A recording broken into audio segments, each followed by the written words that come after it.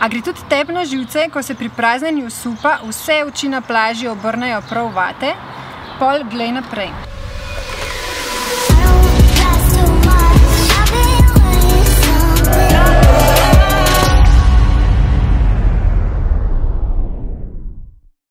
No, pri tej zadregi ti pomaga tale mala napravica, ki se imenuje Silent Air Remover. V bistvu ga namestiš zelo enostavno, samo zahaklaš takole v ventil in pritisneš na gum, takole.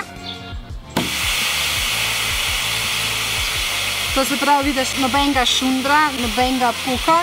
Če pa ne bi uporabljala te napravice, bi se pa slišalo izpahovanje takole.